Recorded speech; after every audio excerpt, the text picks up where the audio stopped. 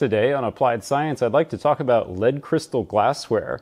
That's right, back in the day, they used to put quite a lot of lead into these fine crystalline wine glasses. In fact, the standard was 24% lead by mass. And so the question is, how much of it leaches out into the beverage you're drinking? Uh, the short answer is in a worst case scenario, it's about one day's worth of average lead intake. So you might be surprised to learn that if you're an average adult, you're already eating about 10 to 50 micrograms of lead per day. And in a worst case, you would get about that much lead from drinking from a lead crystal glassware glass for an evening. But there's a lot of variation. I've spent the last month studying about five or six different kinds of lead crystal glassware made in different countries at different time points and uh, extracting them under various scenarios heavy use, light use, recovery times. And so I put all my results together and published them onto GitHub and I'm happy to answer questions in the comments here. And in today's video, I'll kind of summarize the method and uh, just sort of give you my whole take on lead crystal glassware. So what is lead crystal? Well, it's not crystal. no, it's actually just regular plain old glass into which lead has been dissolved. And don't think that at the glassmaking factory they have, you know, a big vat of molten glass and they toss in like a chunk of metal lead and kind of mix it around. No, no it actually usually start with a lead compound. This one is lead oxide, known to its friends as red lead, because uh, it really has a very nice color to it. And it dissolves into there like sugar into water. It completely goes into solution and loses its red color and just becomes an integral part of the glass. So the next question is, why on earth would you do that? Well, just like dissolving sugar into water, it changes the density and the optical properties of the glass. And so with a, a, heavier density, you can make the glass thinner and still have good heft to it, so it still feels substantial enough. And with uh, a higher index of refraction, when you look through the glass, the little cuts and made into the crystal bend the light more. And it also has higher internal reflection, so it sparkles kind of like a gemstone. And in addition, it also uh, makes the glass more dispersive, so it will create rainbows more willingly than a regular piece of glass. Uh, also, it makes the glass um, ring kind of a long time, and I think that's just a function of it being denser and a, a, thinner glass. But then finally, it also makes the glass softer, so that at the factory where they're cutting these intricate patterns into it and needing to polish them, uh, the cutting tools will last longer. And on top of all that, lead is really cheap. So if you get all these benefits uh, for, for minimal cost, it's a no-brainer uh, if lead were non-toxic. Unfortunately, there is no safe level of lead. Um, a lot of metals in the world are toxic in high doses but are required for life in low doses. Lead is not one of them. There really is no biological function that relies on lead. So zero is really the ideal number. Now, a regulatory agency can't say that the limit for lead is truly zero because our modern analysis and concentration techniques are so well developed that we can always find a few atoms of lead anywhere. Uh, lead is even totally naturally occurring in the soil. Um, it's much higher now since industrialization, but even before, yeah, there's a fair bit of lead in the soil and it will get into groundwater and eventually make its way into your tap. So the government has to pick a number uh, that they declare is more or less safe, at least with our current knowledge of lead and everything. And that number in the US is 15 micrograms per liter. That's the EPA's so called action level, meaning that if you test the water coming to your house and it's more than 15 micrograms per liter, you can take action and try to, you know, sue your water municipality or whatever. Um, but just to give some context, so if you drank a liter of water every day and your house was, you know, a little bit under the limit, you're already getting somewhere between 10 and 15 micrograms of lead just from that liter of tap water, coffee and tea and cooking and just drinking out of the tap. So just to give some context, in a lot of the stuff I've read online about lead, no one ever has any numbers. They just talk about how bad it is, which is true, but if you knew the numbers, then you'd know how bad it is, and that gives a lot more context. To give some sense of scale to these tiny masses, keep in mind that a grain of salt is somewhere between 1 and 200 micrograms or if you're into electronics, an 0201 surface mount resistor. So in order to create a, a 15 microgram per liter solution, you'd have to dissolve that one grain of salt in over 10 liters of water. And one microgram in one liter of water, which is weighs a kilogram, is a part per billion. Um, you've probably heard of this parts per notation, especially in regards to water quality. But it's actually a very confusing unit. In fact, I gave a whole talk at SuperCon last year uh, showing why you should never use the parts per notation.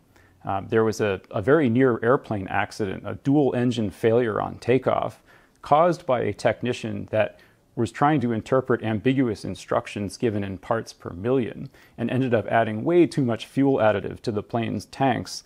And uh, the engines choked on this additive and they, they nearly crashed. And so, a much smarter way to describe this would be milligrams of additive per kilogram of fuel. Still part per million, but it's very obvious now what you have to use. And this applies to any kind of parts per notation. In fact, the one you're probably familiar with would be parts per hundred, otherwise known as percent. So you could just say kilograms per kilogram instead of saying percent, and it just conveys exactly what you mean.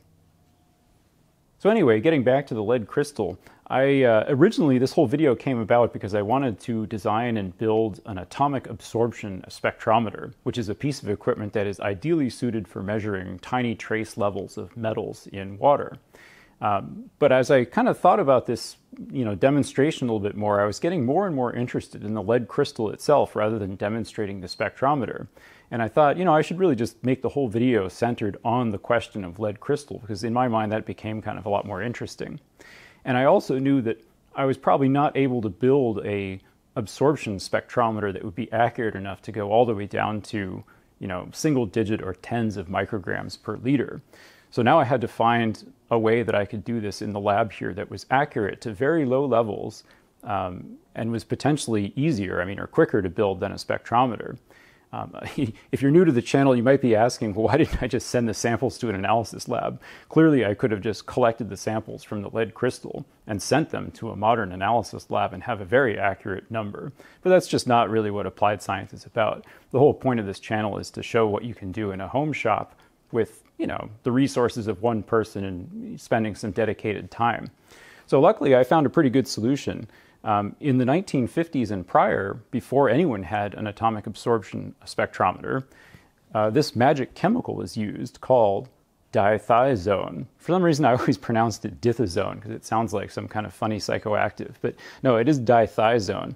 And the reason it's magic is that it changes color in response to being mixed with metals that are in solution. It has this whole rainbow of outputs, and each one, in, each color is um, idiosyncratic for that metal. So if you have a high concentration of copper, you can just look at it and tell that it's copper because it changed to that uh, color. Now this works really well in the part per million range, or I should say milligrams, milligrams per liter range. Um, you don't need a spectrometer, you can just look at it with your eye and identify what metal it is based on the color. But if you want to get down to really low levels, micrograms per liter, everything gets way more difficult. Um, the, the quality of the water, the quality of all the reagents, everything has to be extremely, extremely clean because this chemical doesn't just test for lead, it tests for five or 10 different metals. And you have to make sure that all of the reagents that you used and all of the glassware and all of the plastic and the caps and the pipette tips and everything are have no contamination of any metals that might react with this and um, you know cause a false high reading. All right, enough chit chat. Let's see some chemistry here. I'll show you one of the analytical runs that I've been developing over the past month. So we'll start off with about 5 ml of dithiazone dissolved in dichloromethane. And I'm going to use these large pipettes to move it, which is a real time saver. Um, using graduated cylinders instead of these quick pipettes is um, much slower. And to this, I'm going to add 30 ml of a stock solution. This is a lead standard that I've created that is 750 micrograms per liter. And so we'll put 30 ml of that in. And I managed to find a, um, one of these pipettes that is 10 ml per shot. So I realized this isn't as accurate as using a single graduated cylinder that's 30. But uh, believe me, this is the least source of error in my whole system here, so this is going to be fine. Now, what we could do right now is shake it if we want. Oh, first you'll notice that the dithiazone has this turquoise color, and that is inherent to the chemical itself. Before it's mixed with any metals, it has this bluish greenish color. And you can see that on the spectrometer. You can just, you know, take a straight a sample straight from the amber bottle and put it into the spectrometer and see what the absorption profile is to get this amber green color. Um, if you haven't used uh, separatory funnels with a high volatility compound like dichloromethane, give it a couple shakes to start and then cap it or decap it to let some of the uh, vapor escape. Now you'll see that the color isn't really changing. Um, the uh, dichloromethane is not soluble in water, so it doesn't dissolve into it. It will actually separate out into another layer. But what's important here is that the color isn't changing. And the reason for that is that the lead standard that I just used, the 750 microgram per liter, is acidified. There's a half a percent acetic acid in all of the aqueous solutions that I've used in the whole experiment. All of them, the standards, the extraction, they're all half a percent acetic acid. And I used the most pure, you know, USP pharmaceutical ultra high quality acetic acid and trusted that this was free of metals. So we can see that after the layers have separated, it's still that blue-green color. So what we do in order to get the, the lead to move from the aqueous layer into the dichloromethane layer is we're going to raise the pH here. And to do that, I'm going to add 3 milliliters of 3% ammonium hydroxide, which I cleaned myself by boiling ammonium hydroxide and bubbling the resulting ammonia gas through ultra pure water. And so we'll put in 3 ml of this.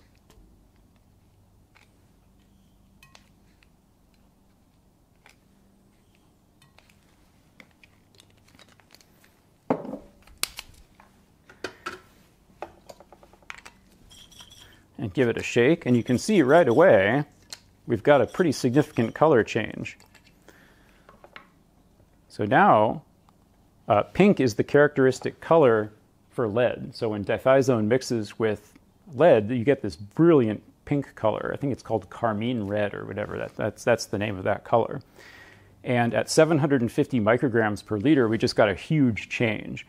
So the idea is that with enough stock solutions, if we go down through the line, if I keep diluting this uh, lead standard stock solution all the way down to zero in small increments, we'll get less and less color change.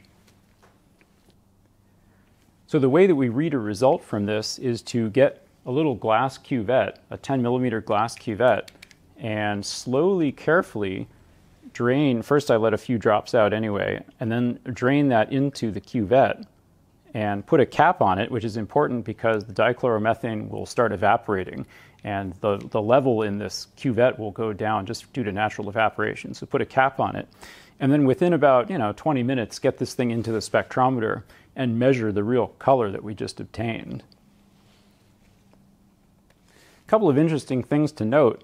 Uh, we put 30 ml of, of water aqueous sample in there, and we had 5 ml of dichloromethane with the dithazone, with the dithizone in there.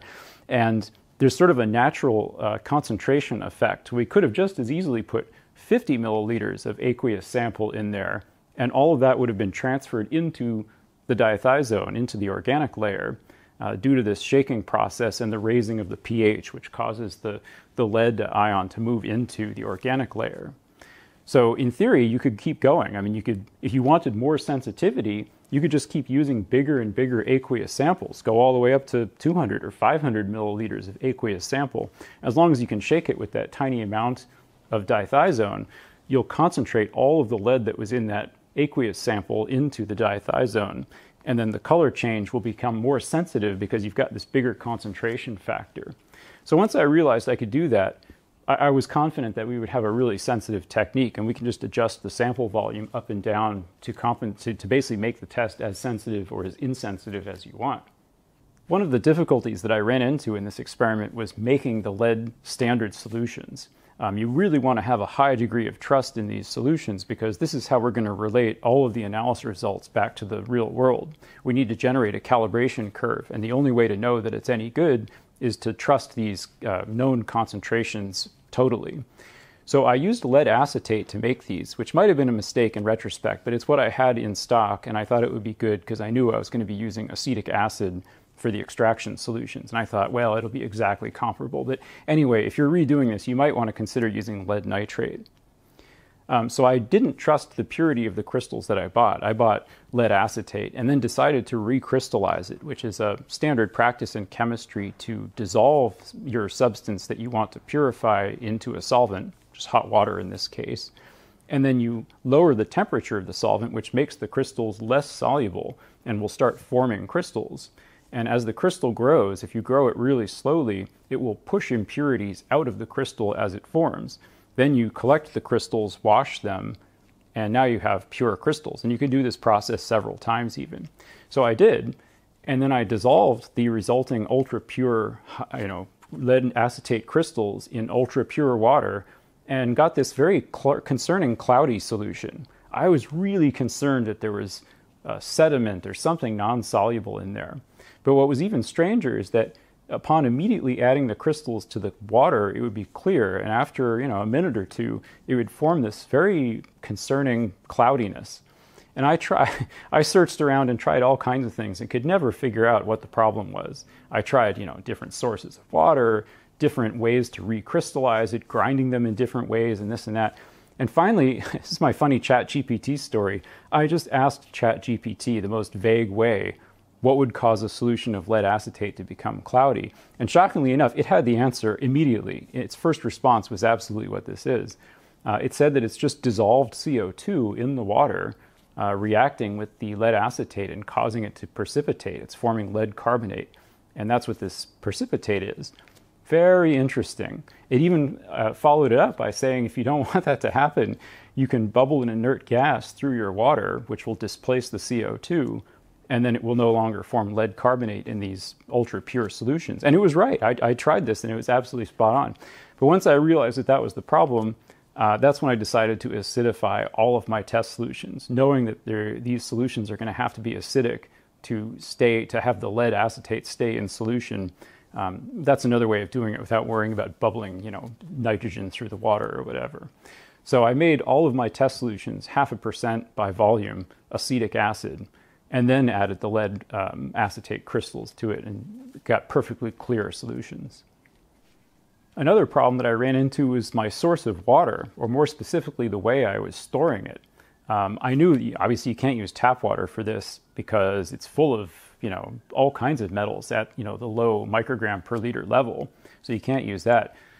So I use filtered reverse osmosis deionized water, and you can buy an RODI filter on Amazon for you know, one or two hundred bucks, I think. And the water that comes out of these is, is actually very good. But I found out if you store it in a cheap plastic jug that I also bought from Amazon, it's no longer so pure anymore. And I suspect it's actually the spigot. Uh, it has some colored plastic in the spigot, and I think there was probably some residue of the um, pigment that goes into that plastic spigot that was coming out in the water. And I could tell that this was a problem because fresh water that came right out of my RODI system didn't change the color of the dithiazone when I went through this extraction and test process. But water that had been stored in this carboy for you know, a couple of weeks was not pure. It changed the color of the dithiazone. I don't think it was lead, but it was some other metal that was going to cause interference with our measurements here. So then I only would store my RODI water in glass bottles with Teflon tops, so there was no exposure to this weird Amazon colored spigot water problem there.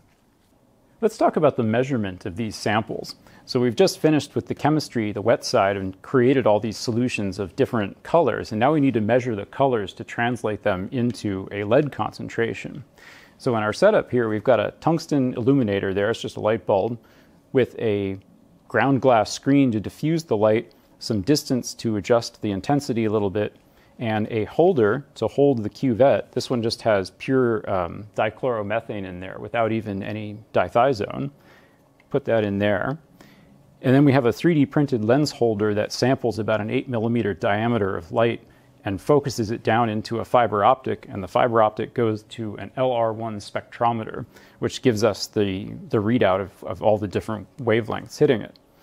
And so the idea here is that we want to measure the absorbance of these different colored solutions, and we're going to use the, the clear uh, dichloromethane as the reference point. So all of the non-flat stuff, like the light bulb doesn't have a flat curve, the, the fiber optic isn't flat, like you know, the absorbance of the glass in here isn't flat. And we basically want to compensate for all that, which is what measuring the absorbance does. So I, um, I have the LR1 save a file to the file system every second. Every second you can save a, a text file that has the whole spectra, and that's already averaged about 50 samples. And the reason I did that is because there is actually a programming API, but I, I, was really running out of time and didn't have enough time to look into it.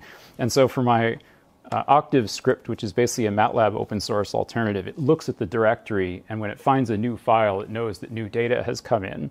So you can use this in real time. And the script is a little UI where you can, you know, tell it what samples you're going to do, and then click a button to go to the next sample. Okay, so after putting all that together, uh, this is what we end up with: a normal, a absorbance curve for each of the samples based on the blank, using that as the, the reference. And I also call this normalized absorbance because what I do is bring the curves down so that they always hit zero between 750 and 800 nanometer. Um, the rationale there being if there's like a water droplet stuck to the cuvette or an air bubble or something else, it will affect the total absorbance even in the infrared, whereas if it's a pure sample with no bubbles or anything, it really should have the same absorbance at that level. So if we look at this curve, I have two blanks, uh, dark blue and this red color, and those are both almost on top of each other, a flat line at one. And that makes sense because we just calculated the absorbance from those two samples, so those should definitely be one. Um, the reason I do two is because I measure one blank at the beginning of the run and one blank at the end of the run and check if there was a difference between them. And if there is, that means that something with the light source changed or the fiber optic cable got kinked or something changed so that the samples may not be comparable to each other. But anyway, the interesting bit is the absorbance curves from these solutions. And you can see this was a calibration run. And so I sampled known concentrations of lead, and you can see all the curves here. So for a zero, we have this dark blue curve that has maximum absorbance at about uh, 610 and the highest lead concentration, 2,000 micrograms per liter, has maximum absorption at about 515 nanometers. And all of the curves in between these two extremes are intermediate amounts of lead and intermediate amounts of absorbance. So traditionally, the way that this is done is to just measure the absorbance at one wavelength, 515 nanometers. All the literature that I've read says you measure the absorbance at 515 and that tells you how much lead is in the solution. And if we do that, we end up with a calibration curve that looks like this. So this is the absorbance at 515 nanometers, and this is the concentration in micro, micrograms per liter. And you can see that the curve has kind of an S shape, even though I didn't fit it all the way out.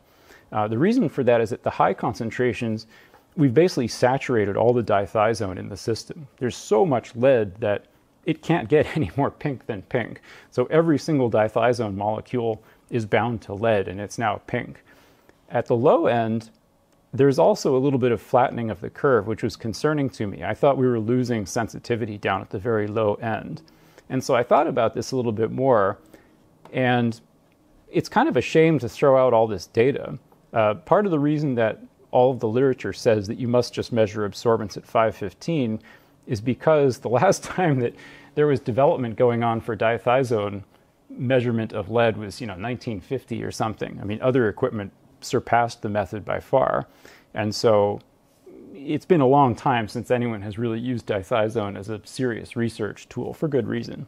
But anyway, since we have the whole spectrum, I thought, you know, it makes a lot more sense to use the whole spectrum.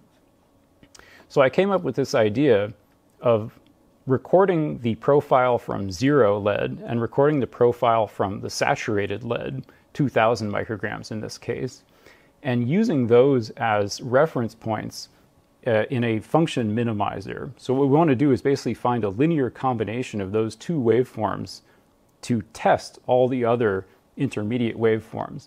Now that sounds kind of silly, but think of it this way, like the rationale is that the dithiazone is green and if it binds to lead, it turns pink. So there is no purple color. Like that's really just a linear combination of the green and the pink. And so what we're doing in the computer is asking it to find the coefficients. What do I multiply the green by? What do I multiply the saturated pink by to get all those other intermediate um, spectra? And the cool thing is it does this across the entire spectrum, or I actually set it to go from 400 to 700. Um, here's the code for it. Uh, if we are in the calibration run,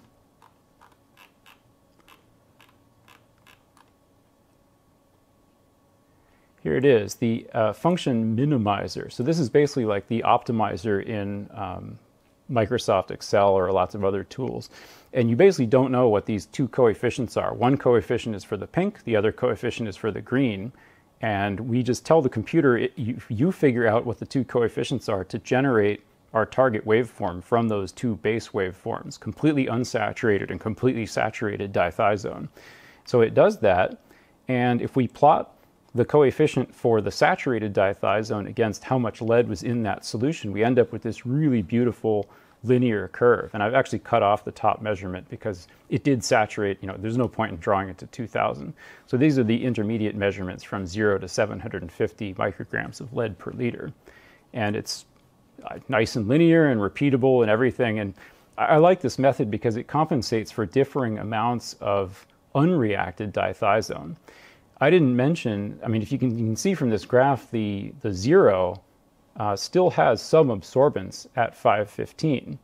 And I, I, didn't mention that the amount of unreacted dithiazone is very sensitive to the pH of the aqueous layer. So if you don't control the pH to a super tight degree, some of that dithiazone will oxidize and get pulled into the aqueous layer, so it won't be green anymore, it'll be clear. Um, and like I say, even though we've done everything we can to control the pH, there's still a chance that something's not working there. So one of the benefits of this coefficient method is that even if the amount of unreacted dithiazone changes in the organic layer, this will compensate for that, and that coefficient will be lower, but it won't affect the coefficient of the saturated, at least as far as, as I think. So I was pretty excited about this new method since I haven't really seen it anywhere, and it, it produced very good results and the only thing I didn't test was uh, is it very resistant to other metals? Like if you put copper, or zinc, or mercury, in theory, this would also be fairly resistant to those because it wouldn't follow the lead profile. Like this thing knows exactly what the profile should be for uh, saturated lead or dithiazone saturated with lead. Um, and if it was some other metal, copper or whatever, it wouldn't have that same profile. So anyway, I, I thought using the whole spectrum was good, and, and that's the method that I used to find the concentration and all these unknowns. Okay, let's talk about the final results. Uh, the first test I did was just to pour uh, the extraction fluid, which is half percent acetic acid in pure water, into the glass and then sample it one hour later. And that's what this first group of numbers are here. Um, the reason that the axes aren't zoomed in a little bit more is because we had some high readings later, but you can see that we're at about 250 micrograms per liter for a couple of them, and a couple of them were zero. Uh, so that's already pretty interesting. And this is, when I say a couple of them, I mean two out of the, the five or six things that I sampled. And so you'll see, uh, if you look through the files here, the details with all the stuff. But I had a, a mug, uh, a wine glass, a tumbler, a sugar bowl, a vase and this candy dish that was shaped like a sleigh. And each one of these things was made in a different country. Not that I had any grudge against any country, but I was just trying to find different sources of material, hopefully a different glass factory that used different, you know, starting points and whatever.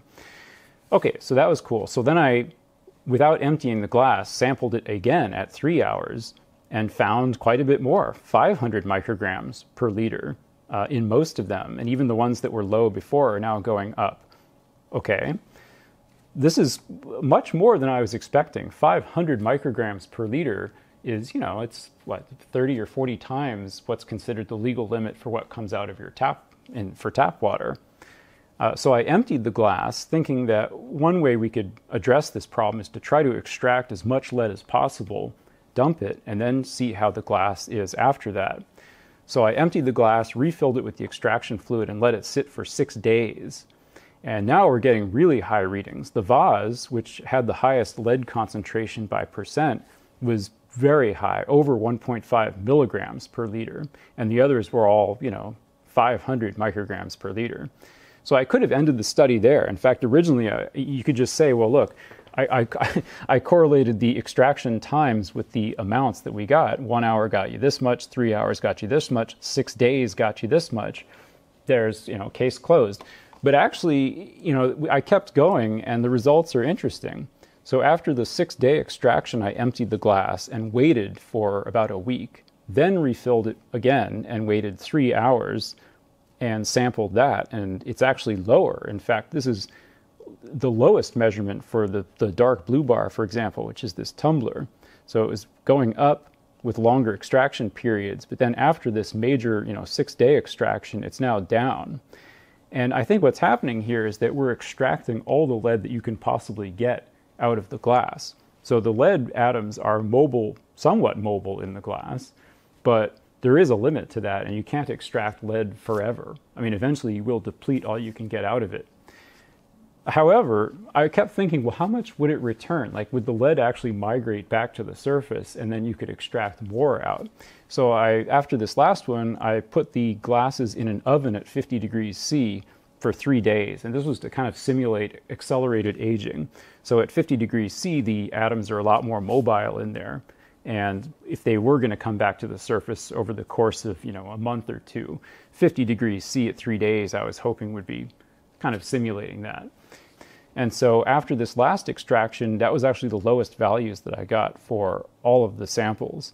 And my theory is that if you kept extracting this over time, you'd get less and less and less. And it's true over very long periods of time, the lead would migrate back to the surface and you could extract some more.